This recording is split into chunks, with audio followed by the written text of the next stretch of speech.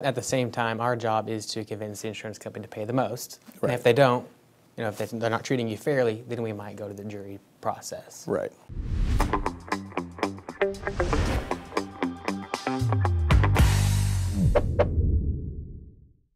Every case truly is so different because there's so many factors. You know, how bad were you hurt? Um, how how much are your medical bills? How much are your lost wages? How good of a recovery have you made? How much is the other person's insurance coverage? Do you have you know uninsured? And where did it occur? Where did it happen? What, Yeah. you know, what's the jury going to? A jury in certain parts of Missouri might be completely different than one in Western Kansas. For sure. So where did it happen? Um, are you? Is it affecting your day-to-day life? I mean, so you just the list goes on and on and on, and every one of those factors changes, changes the analysis in some way, and ultimately. I don't get to just tell the insurance company what your case is worth. I'd love to just unilaterally say to them, this case is worth X and you must accept it.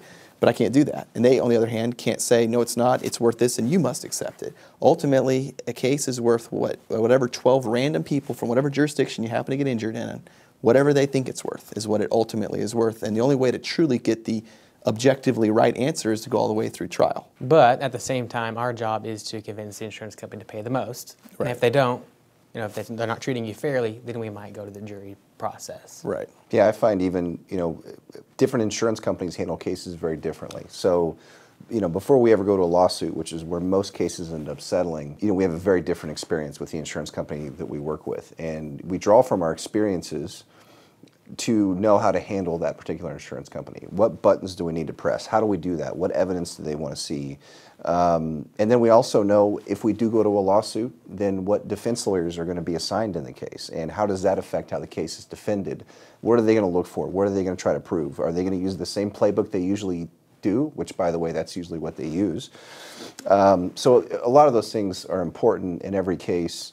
And then you have the different types of cases. You know, you have an, un, an underinsured motorist case. That means that the person that caused the accident uh, doesn't have sufficient insurance to pay for your client's injuries. Um, or we have a you know regular liability case against the insurance company for the person that was at fault because there is sufficient coverage. How that case may be postured in front of a jury uh, can dictate how we handle Yeah. the case. In a normal case, for example, where we let's say we can't settle a case against somebody's insurance company when they ran a stop sign, if we have to file a lawsuit in the case, we only name the driver of the car that's at fault, but it's their insurance company that's responsible for it. However, the insurance company's name never appears on the caption. So, and, and the idea there is that any jury that could ever see the case is not allowed to understand that there is insurance to pay for it. That's considered to be unfair. Um, so that kind of informs us on what we need to do in a regular liability case versus an underinsured motorist case, where we can name the insurance company directly. So, as Jesse said, there are so many moving parts. Every um, every case has its individual circumstances. Our job is to pick up the patterns between cases and to use our experience to tie all that together to get the best result. I could tell a client, hey, I think your case could be worth this or is worth this, considering all those factors.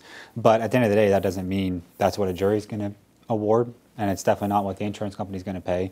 So, you know, that's a tough question, and, and it's kind of honestly an impossible question to answer. But our job is to, like Mason said, maximize that recovery. And, you know, I tell a lot of clients, I, I think your case might be worth this or a certain amount. But at the end of the day, um, it, it's unless we go to a lawsuit, it's worth as much as the insurance company will offer, will pay. Sometimes that's less when than my evaluation. Sometimes it's more. Right, and then the answer is, you know, it's sometimes it's I don't know exactly what it's worth, but I think it's worth more than this. Yeah. you know, well, we're more filing suit. not. You know, Yeah.